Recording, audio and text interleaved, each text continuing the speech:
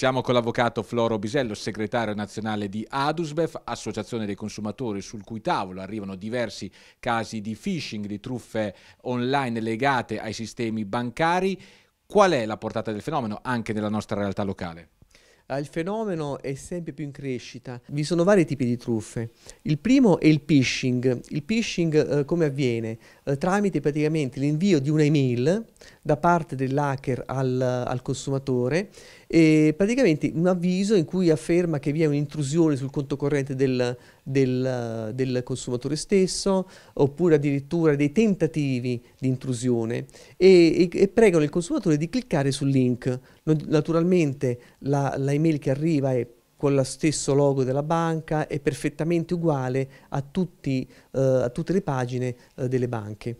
Eh, che succede? Il, liquida, il, consumatore una volta che ha cliccato sul link viene poi contattato, eh, cioè si apre un format, no? un modulo che ehm, praticamente eh, spiega come compilarlo. Quindi il, il, consumatore va a compilare il modulo in tutte le parti mancanti con i propri dati personali e sensibili dopodiché invia il modulo, viene contattato dal truffatore, il cui praticamente eh, poi eh, dirà di eh, dare i codici di accesso. Una volta che c'è stato questo, il truffatore avrà una strada facilitata per poter entrare sul conto corrente del, del, truffato e poter compiere in suo luogo tutte le operazioni. Capitati casi in cui il, sono entrati nel conto corrente del, dell'assistito e hanno fatto diversi bonifici in varie banche eh, italiane.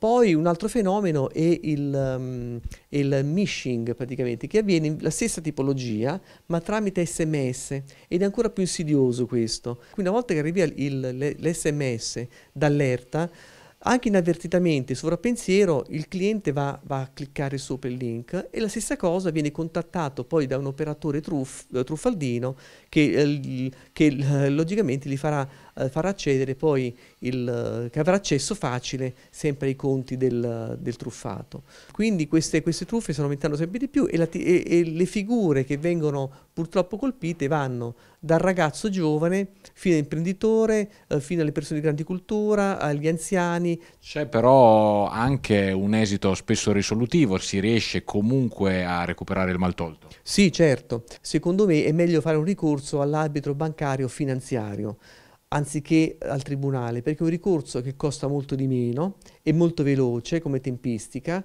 nel giro quasi anche meno di un anno, 8-9 mesi, si raggiunge il risultato. La banca deve provare che il consumatore sia stato negligente e non il consumatore deve provare che non è stato diligente praticamente. Quindi in questi casi, insomma, spesso e volentieri hanno esito positivo i risultati.